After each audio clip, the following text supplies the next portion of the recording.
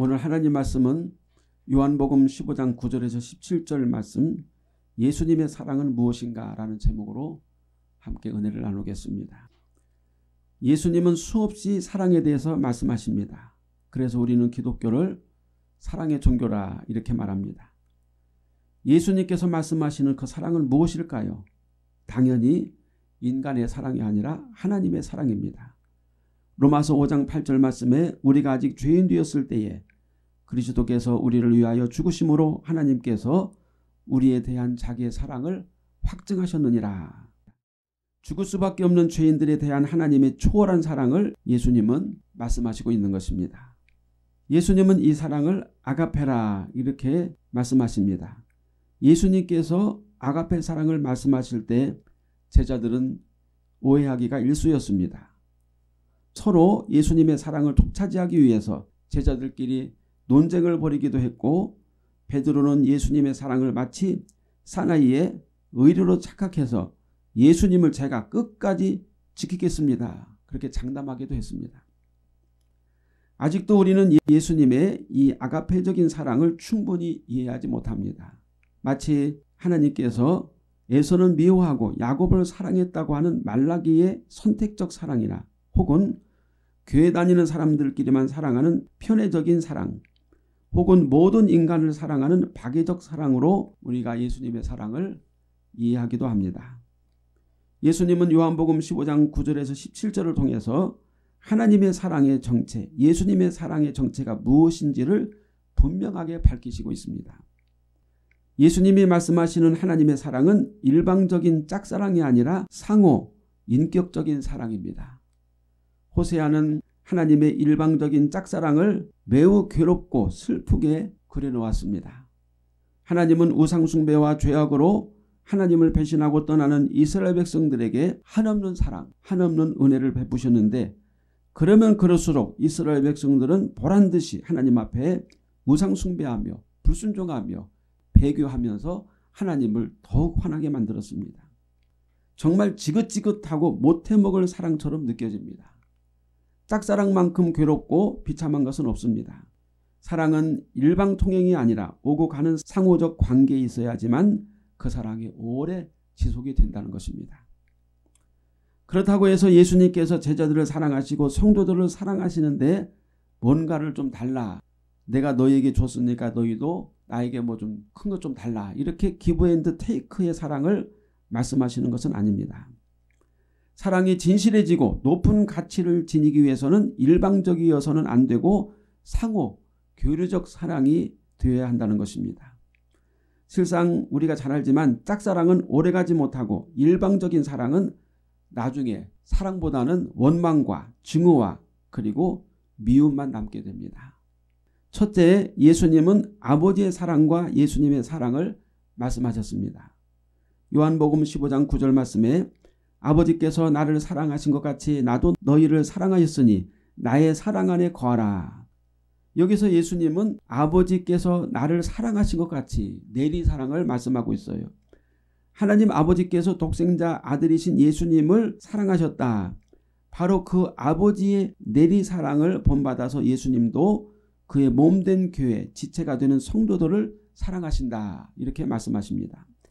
예수님께서 우리 죄인들을 사랑하셔서 십자가에 죽으시고 우리 죄를 대신해서 사해 주시고 부활하시고 우리를 사망해서 마귀의 지옥에서 구해 주시는 사랑 그 사랑을 주신 것은 우리가 충분히 이해할 수 있는데 하나님 아버지가 예수님을 사랑하신다는 말은 무슨 뜻일까요? 실상 하나님은 독생자 예수님을 이 세상에 육신으로 보내셔서 바리새인들이나 서기관들 그리고 대제사장들에게 온갖 수모와 멸시를 당하게 하셨는데 그런데 예수님은 그럼에도 불구하고 하나님 아버지가 나를 사랑하신다. 그렇게 말하고 있어요.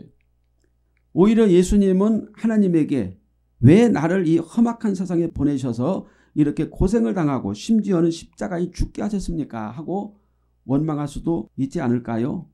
만일 저 같으면 만일 우리 같으면 충분히 그러고도 남을 것입니다. 우리가 종종 어, 드라마 같은 데를 보면은 큰 기업의 회장이 자기 아들을 말단지기에서 일하도록 해놓고 모른 척 하는 경우가 있습니다.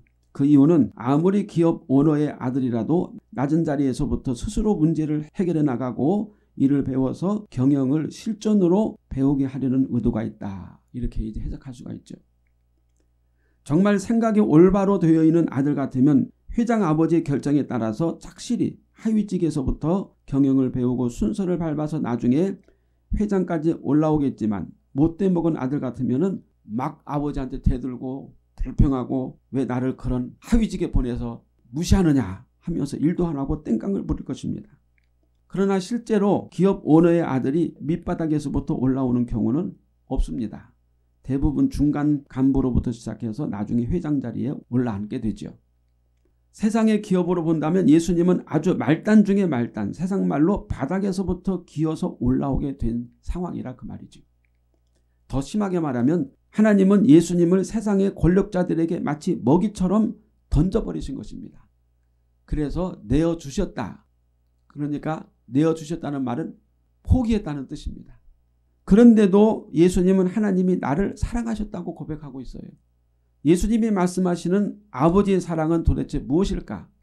예수님을 그렇게 궁지에 몰아넣고 이 세상 가운데 육신으로 보내셔서 엄청난 수치와 모욕과 그리고 고난을 당하게 그렇게 만드시고 심지어는 침뱉음을 당하고 뺨을 맞고 채찍에 맞고 그리고 십자가에서 끔찍하게 죽음을 당하게 하셨는데 예수님은 아버지께서 나를 사랑하셨다 그렇게 말씀하는 겁니다. 도대체 이 사랑이 무엇인가? 예수님의 말씀하시는 아버지의 사랑은 매우 신뢰적인 결코 의심할 수 없는 사랑입니다. 그 사랑 속에는 강력한 신뢰와 강력한 유대 관계가 있다 하는 것입니다. 다시 말하면 하나님이 예수님을 마귀의 소굴에 던져 넣으셨다고 해도 예수님이 십자가에서 죽음을 당하신다고 해도 하나님께서 자기를 버리지 않으시고 지키시고 보호하신다는 절대적 신뢰의 사랑 하나님에 대한 절대적 신뢰가 있기 때문에 그래서 예수님이 이 세상에 오셨다 그 말이죠. 그것이 신뢰적인 사랑이다. 예수님은 하나님과 자신의 흔들릴 수 없는 신뢰를 사랑이라고 그렇게 말씀하시는 것입니다. 그저 사랑이라는 것이 감정적으로 푸근하고 부드럽고 이런 게 아니에요. 깊은 신뢰, 절대적인 신뢰 관계죠. 사랑이라는 것은 상호 간에 절대적 신뢰가 없으면 의심과 불안과 그리고 불신으로 그 사랑이 깨어지게 되어 있는 것입니다. 그래서 처음에 남녀가 결혼했을 때 여자가 남자를 향해서 저 남자는 나를 굳건하게 지켜줄 거야. 신뢰했는데 살다 보니까 그렇지 않거든요. 그래서 그 사랑이 깨지는 거예요. 그러므로 아버지가 나를 사랑하셨다는 예수님의 말씀은 감성적인 감정에 불과한 사랑이 아니라 절대로 깨질 수 없는 신뢰적 사랑을 의미하고 있다 하는 것입니다. 그래서 하나님은 예수님을 신뢰함으로 마귀의 세상에 예수님을 육신으로 보내셨고 예수님은 하나님을 절대적으로 믿음으로 하나님께서 보내신 악한 세상에 아무런 두려움과 의심 없이 오실 수가 있었다 그 말입니다. 그러므로 예수님과 아버지 하나님의 사랑은 절대적인 상호 신뢰 관계에서 오는 깨질 수 없는 흔들릴 수 없는 사랑이었다.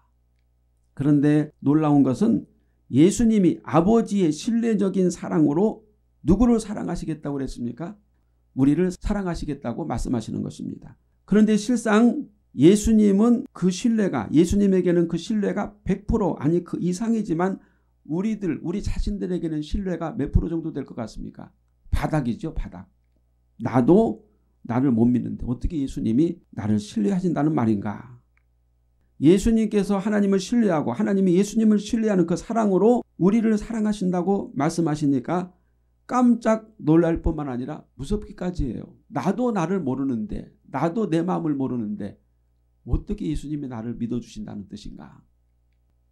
그런데 실상 예수님이 이렇게 말씀하셨어요. 요한복음 2장 24절에 예수는 그의 몸을 그들에게 의탁하지 아니하셨으니 이는 친히 모든 사람을 아심이요 예수님은 사람들의 마음속에 무엇이 있는지 아시기 때문에 절대로 사람들을 의탁하지 아니하신다. 즉 믿지 아니하신다고 말씀하셨어요.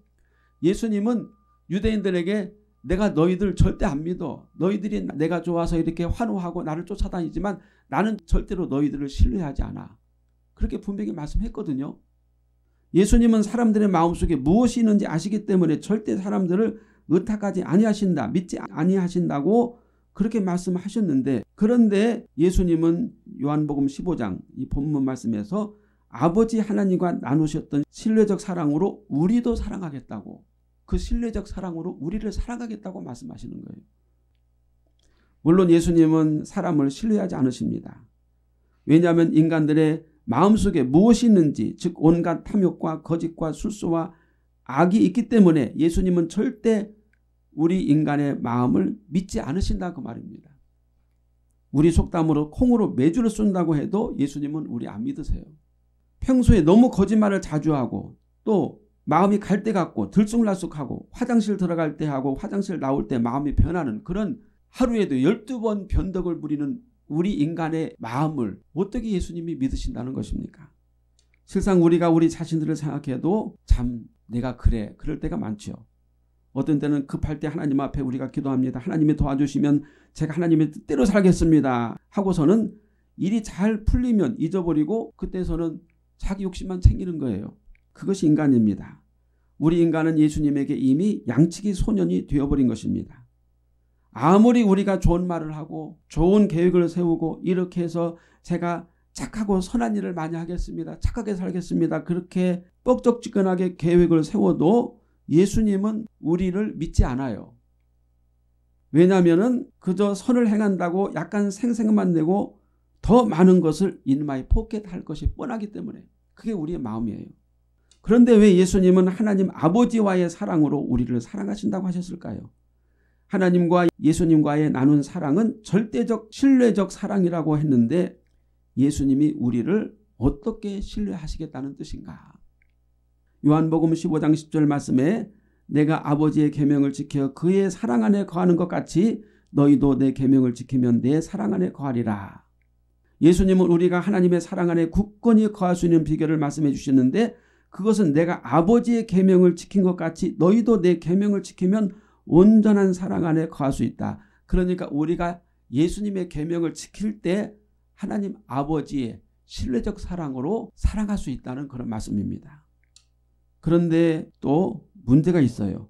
이스라엘 백성들은 10계명도 못 지켜서 하나님에게 버림을 받았는데 우리가 어떻게 그렇게 수많은 예수님의 계명을 다 지켜서 온전한 사랑을 얻을 수가 있겠습니까? 어느 날 율법사가 예수님에게 찾아와서 율법 중에서 어느 계명이 큽니까 하고 물었을 때 예수님은 두 가지를 말씀해 주셨어요. 예수께서 이르시되 내 마음을 다하고 목숨을 다하고 뜻을 다하여 주 너의 하나님을 사랑하라 하셨으니 이것이 크고 첫째 되는 계명이요 둘째도 그와 같으니 내 이웃을 내 자신같이 사랑하라 하셨으니 이 두 계명이 온 율법과 선지자의 강령이니라.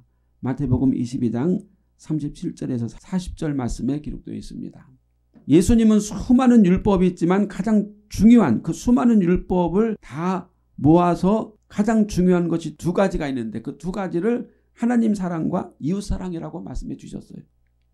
첫째는 하나님을 사랑하되 마음과 목숨과 뜻을 다하여 사랑하라고 주님은 말씀했습니다. 이 말씀은 신명기서 6장 4절 5절에 기록되어 있는데 이스라엘아 들으라 우리 하나님 여호와는 오직 유일한 여호와이시니 너는 마음을 다하고 all your heart 뜻을 다하고 all your soul 힘을 다하여 all your might 그러니까 전심으로 전심으로 내 하나님을 사랑하라 그 말이죠. 최고로 사랑하라. 어떤 다른 것보다도 하나님을 가장 1등급으로 놓고 사랑하라 그런 뜻이에요. 진심으로 영혼으로 육체로 하나님을 사랑하라고 모세는 이스라엘 백성들에게 명령했습니다. 역시 예수님도 온 마음으로 온 영혼으로 온 지성을 다해서 하나님을 사랑하라. 그런데 예수님은 모세가 말한 신명기 말씀에 더해서 두 번째 계명을 뭐라고 말씀했습니까? 네 이웃을 네 몸과 같이 사랑하라. 한 가지를 더 하셨어요. 이 말씀은 인간으로서 예수님이 인간을 사랑하신 그 사랑으로 예수님의 제자들이나 성도들이 서로 이웃을 사랑해야 된다. 이렇게 말씀하시는 것입니다. 내 이웃을 사랑하라고 하신 예수님의 말씀은 눈에 보이지 않는 하나님의 사랑을 보이는 사랑으로 실천하라. 그런 뜻입니다. 육신으로 이 세상에 오셔서 죄인들을 사랑하신 예수님의 사랑은 어떠한 사랑일까요? 유대인들은 하나님을 사랑하기 위해서 수많은 율법을 지켰어요. 그 율법의 가지수를 다 친다면 600 몇 가지가 된대요. 그리고 그것뿐만 아니고 제사법, 수많은 제사법 그리고 탈무드에도 수많은 조항들이 있어요. 그런 것들을 유대인들은 열심히 지켰어요. 왜? 하나님을 전심으로 사랑하기 위해서. 그러나 유대인들이 놓친 것이 있습니다. 바리새인들, 서기관들, 대제사장들이 놓친 것이 있는데 그것은 이웃에 대해서 매우 배타적이고 교만하며 악의적이기까지 했다. 여기 이웃은 예수님께서 말씀하시는 이웃은 같은 유대인을 말하는 것이 아닙니다. 이방인들, 사마리아 사람들. 그런데 유대인들은 이방인들이나 사마리아 사람들을 개나 돼지처럼 여기고 저것들은 당연히 지옥에나 떨어질 것들이야. 이렇게 치부했다 그 말입니다. 그러므로 예수님은 유대인들이 하나님을 지극히 사랑하여 율법을 지키는 것처럼 이웃 사마리아 사람 이방인들도 똑같이 네 몸처럼 사랑해야 된다. 유대인들이 그렇게 혐오하는 사마리아 사람들도 너희 몸처럼 사랑하라고 말씀해 주신 것입니다. 예수님은 수백 가지 율법이 있어도 단 두 가지 하나님을 온 마음으로 사랑하고 이웃을 내 몸같이 사랑하면 모든 율법을 완성하는 것이다. 이렇게 말씀하셨죠. 600여 가지 그리고 수많은 제사법, 수많은 탈무드 조항들 이런 것들을 단 두 개로 요약해서 말한다면 하나님을 전심으로 사랑하고 네 이웃을 네 몸처럼 사랑하라. 두 가지만 지키면은 율법과 선지자의 모든 강령을 다 이룬 것이나 똑같다. 이렇게 예수님께서 말씀하신 거예요. 실상 예수님께서 유대 땅에 오셔서 33년을 육신으로 사셨는데 예수님은 그 당시 바리새인들이나 서기관들이 철저히 지켰던 토라나 탈무드를 거의 지키지 않으셨어요. 특별히 공생의 3년 기간에는 예수님이 유대인들이 지켰던 바리새인들이나 서기관들이 주장했던 모든 율법과 탈무드 법들을 무시하셨어요. 내팽개치셨죠. 그저 안식일 날 성전에 올라가셔서 하나님의 나라 말씀을 전하시면서 회개하라. 그 외치신 것이 고작이었어요. 그래서 바리새인들이나 서기관들은 예수님이 모세 율법이나 토라 또는 탈무드 이런 조항들을 지키지 않기 때문에 예수님을 뭐라고 생각했습니까? 이방인처럼 여겼고 이단이라고 취급하고 비난하고 결국은 예수님을 십자가에 못 박아 죽이고자 모의를 했던 것입니다. 예수님은 수많은 모세율법들과 유대의 탈무드 조항들을 일일이 지키라고 하신 것이 아닙니다. 우리 보고 율법을 다 지켜라. 탈무드 조항을 다 지키라고 말씀하신 것이 아니라 진정으로 하나님을 사랑한다면 네 이웃을 내 몸과 같이 사랑해야 한다. 그 말씀이죠. 하나님을 사랑한다고 하면서 이웃을 사랑하지 않으면 그것은 하나님의 사랑이 아니라는 뜻입니다. 이제 그러면 진정으로 예수님이 하나님을 사랑한다는 것은 무엇일까요? 예수님은 실제 공생의 3년 동안에 모세율법도 안 지키셨다고 그랬어요. 탈무드 조항도 전혀 지키지 않았어요. 그러면서 어떻게 하나님을 사랑할 수 있을까? 예수님도 실제로 모세율법을 낱낱이 지키지 않으면서 내가 아버지의 계명을 지켰다고 어떻게 말씀하실 수 있는가 그 말이지. 예수님은 내가 아버지의 계명을 다 지켰다고 하셨거든요. 예수님이 말씀하시는 아버지의 계명은 무엇일까요? 하나님이 예수님에게 주신 절체절명의 계명이 있습니다. 그것은 바로 하나님의 창조물인 죄인들을 위해서 십자가에 죽으라는 명령이었어요. 예수님이 땅에 오신 것은 모세율법을 다 지키기 위해서 오신 것이 아니고 십자가에 죽으시기 위해서 왜 죽으십니까? 우리 죄인들을 살리시고자 하는 하나님의 구원의 열정, 하나님의 간절한 열심을 이루기 위해서 이 땅에 오셨어요. 물론 하나님께서 예수님에게 명하신 십자가에서 죽으라는 그 명령은 예수님이 강제로 억지로 지킬 필요 없어요. 하기 싫은데 억지로 할 필요 없습니다. 예수님도 그 명령을 자발적으로 기쁘고 자원하는 마음으로 지키셨습니다. 요한복음 10장 18절에 이를 내게서 빼앗는 자가 있는 것이 아니라 내가 스스로 버리노라. 나는 버릴 권세도 있고 다시 얻을 권세도 있으니 이 계명은 내 아버지에게서 받았노라 하시니라. 여기서 스스로 버리고 스스로 얻을 권세가 뭡니까? 십자가에 죽으시는 거예요. 근데 그것을 계명이라고 말씀하고 있어요. 예수님께서 이 세상에서 최고로 행하실 계명은 하나님 아버지의 뜻, 인류를 구원하기 위해서 십자가에서 죽으시는 일이에요. 그것을 예수님은 자발적으로 하셨다 그 말이에요. 예수님께서 주시는 하나님의 계명은 세상을 구원하기 위해서 십자가에 목숨을 버리는 것이며 하나님 아버지에 대한 예수님의 사랑은 십자가에서 죽으라는 하나님의 계명을 기꺼이 스스로 기쁨으로 행하시는 것이다. 그래서 예수님은 십자가 위에서 아버지의 계명과 사랑을 어떻게 했습니까? 다 이루셨죠. 예수님께서 마지막 영원히 떠나실 때 다 이루었다. 뭘 이루었어요? 모든 율법을 이루고 하나님의 명령을 이루었다는 뜻입니다. 그런데 하나님 아버지의 계명과 사랑이 성취되어진 십자가의 죽음은 누구를 위한 것입니까? 예수님이 십자가에 죽으셨다고 해서 의로운 시민상을 받으실 것입니까? 세계 평화 노벨상을 받습니까? 아니면 하나님의 명예가 막 이렇게 올라갑니까? 하나님의 유일한 계명이며 예수님의 사랑이신 십자가의 죽음은 오직 저와 여러분들 우리 죄인들을 사망해서 지옥에서 마귀에게서 구원하시기 위한 또 하나의 사랑을 나오신 것이다. 오직 우리들을 위한 사랑이다 그 말이죠.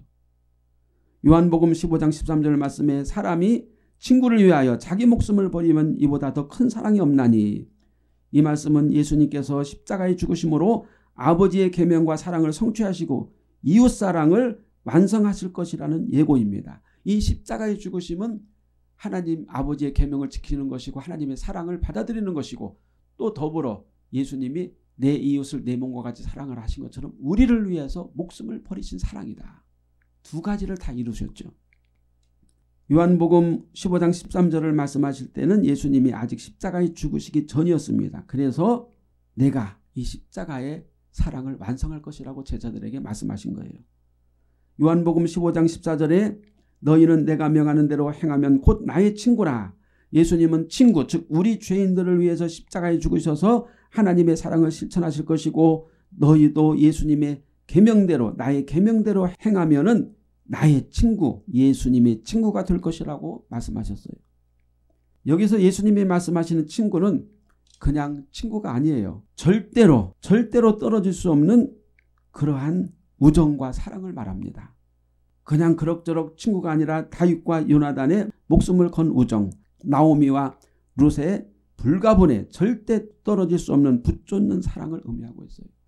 이미 예수님의 우정에 대해서는 예로 성경에 나와 있습니다. 요나단과 다윗은 여호와 신앙으로 맺어진 사랑이었고 나오미와 그의 며느리 룻도 여호와의 신앙으로 단단하게 묶여진 우정이었어요. 우리가 예수님과 친구가 된다면 그냥 밥이나 먹고 종종 같이 여행을 가고 돈을 좀 꾸어주고 하는 그런 친구가 아니라 하나님의 계명인 십자가의 죽음으로 맺어진 하늘의 우정 결코 헤어질 수 없는 천국까지 함께 가야 할 친구의 우정이에요. 다시 말하면 예수 믿음으로 어디까지 가야 됩니까? 죽는 자리까지 가야 된다. 이런 얘기가 있습니다. 어떤 사람이 왕의 명령을 받아서 왕 앞에 가야 되는데 너무 무서워서 함께 동행할 사람을 찾았습니다. 그래서 아주 잘하는 절친들에게 함께 가줘 그랬더니 아니야 나는 할 일이 많아서 또 핑계대면서 못 가겠다고 그랬어요. 그래서 형제들에게 그러면 형제들은 가주겠지 그러면서 형제들에게 부탁을 했어요. 그랬더니 형제들은 그래 궁궐 있는 데까지만 가주겠다 말했어요. 마지막으로 아들에게 가자고 하니까 아들이 당연히 가겠다고 하겠지요. 아버지니까. 궁궐 앞에 와가지고 궁궐 문을 같이 통과하려고 하니까 문지기가 딱 가로막아요. 당신 혼자만 들어가시오. 아들은 궁궐 문에서 헤어졌어요. 이 사람이 왕의 명령을 받고 가야 할 곳이 어디일까요? 무덤이죠. 죽음이에요. 죽음의 자리에 함께 가줄 사람은 하나도 없다 그 말입니다. 그런데 우리 예수님은 우리들에게 죽음을 넘어 하나님의 면전 앞까지 같이 가고자 하는 십자가의 우정을 우리가 맺자 이렇게 말씀하시는 거예요. 십자가의 우정으로 우리는 주님과 함께 죽음을 넘어서 하나님 면전까지 하나님의 보좌까지 갈 수 있다는 것입니다. 우리 그리스도인들이 죽어서 하나님 앞에 설 때 같이 가주는 친구가 누구에게 있습니까? 아무도 없죠. 임종 직전까지는 있어줄 수 있지만 그 다음에는 아무도 가지 못해요. 십자가 위에서 하늘의 우정을 맹세한 예수님께서 우리를 죽음 넘어 하나님의 보좌까지 데려다 준다는 이야기입니다. 얼마나 위로가 되고 놀라운 일입니까? 그래서 예수님은 십자가의 맹세로 우리가 친구가 되면 내가 너희의 영원한 동반자가 되주겠다고 천국까지 데려가 주겠다고 약속하시는 거예요. 이것이 너희가 내가 명하는 대로 행하면 곧 나의 친구라는 주님의 약속입니다. 우리 절친은 서로 숨기는 것이 있으면 안 돼요. 서로의 고민과 생각 그리고 계획과 모든 것을 다 이야기합니다. 그렇다고 해서 세상에서 절친이라고 해서 아무리 인간적으로 친하다고 해도 모든 비밀을 다 털어놓는 친구는 없어요. 탈무드에 보면 이런 얘기가 있어요. 누군가가 당신에게 와서 요즘 잘 지내? 별일 없어? 그럴 때 당신 속사정을 다 털어놓으면 당신은 바보다. 그렇죠. 그러나 우리의 영원한 친구이신 예수님은 우리에게 모든 것을 다 알려주시고 우리는 우리의 모든 고민과 생각과 인생의 여정을 예수님에게 다 털어놓을 수 있어요. 속속들이 하나도 빠지지 않고 예수님에게는 우리가 다 털어놓을 수 있어요. 내가 내 아버지께 들은 것을 다 너희에게 알게 하였습니다. 요한복음 15장 15절 말씀입니다. 예수님은 제자들에게 하나님이 누구신지에 대해서 하나님의 나라에 대해서 하나님의 구원과 사랑에 대해서 하나님에게 오는 길 등등 하나님에 관한 진리를 숨기지 않고 다 말씀하셨어요. 성령을 통해서 밝히 정확하게 명백하게 밝히셨어요.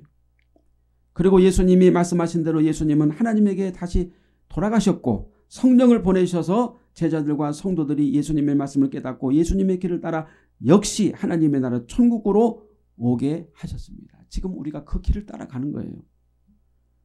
예수님께서 이 세상에 있는 제자들과 성도들에게 가장 하고 싶은 말씀은 이 세상에서 무엇을 먹고 마시고 어떻게 하면 부자가 되고 건강하고 웰빙하는가 이것이 절대 아니에요. 천국 가는 길, 하나님 아버지에게로 오는 길, 영원한 생명과 거룩한 영광을 누리는 길을 예수님은 진짜 우리와 나누고 싶다 그 말이에요. 그것이 바로 예수님의 우정입니다. 그래서 예수님은 틈만 나면 제자들에게 하나님의 나라에 대해서 구구절절히 말씀하셨습니다. 그런데 성령을 받기 전에 제자들은 예수님의 말씀을 다 육신적인 생각으로 이 땅에서 잘 먹고 잘 살고 출세하고 권세를 누리고 떵떵거리는 것으로만 해석했던 거예요. 그러나 성령을 받은 후에 제자들은 예수님의 말씀을 확실히 깨달았고 십자가에서 이루신 예수님의 순종과 사랑을 가지고 온 세상을 다니면서 십자가의 복음을 전하다가 순교하여 하나님의 나라로 들어갔습니다. 예수님은 제자들과 모든 성도들이 예수님과 십자가에서 맺은 우정을 지키며 마지막까지 하나님의 계명인 십자가의 사랑을 실천하다가 하나님의 품 안에 안겼듯이 저와 여러분들 모든 그리스도인들이 예수님의 십자가의 사랑을 행하라고 말씀하고 있습니다. 십자가로 하나가 되자. 십자가로 결속하자 그런 뜻이에요. 바로 이 십자가의 삶이 예수님의 계명, 예수님이 우리에게 주시는 계명입니다. 그것만 지키면 된다. 예수님은 제자들 또한 우리 그리스도인들이 열매를 맺는 것은 이웃에게 십자가 사랑을 전하면서 묻 영혼들을 하나님 앞으로 인도하는 것이며 십자가의 사랑이 모든 것을 다 이룬다고 약속하셨어요. 우리는 이미 예수님과 십자가의 사랑으로 우정을 맺었습니다. 십자가의 사랑으로 영원히 않는 친구가 되었어요. 그 십자가의 사랑을 우리는 이제 이웃에게 나눠야 된다 그 말입니다. 그것이 예수님의 두 번째 명령이에요. 영혼을 사랑하시는 예수님의 이 사랑을 우리가 이웃에게 전할 수만 있다면 우리는 이 세상에서 모든 것을 다 이루고 성취한 자가 되는 것입니다. 그러나 십자가의 구원, 십자가의 사랑을 실천하지 않고 세상에서 먹고 마시는 일에만 몰두하는 것은 모든 것을 다 잃어버리고 실패자가 되는 길입니다. 내가 이것을 너희에게 명함은 너희로 서로 사랑하게 하려 함이라. 이 사랑이 바로 십자가의 우정인 줄로 믿습니다.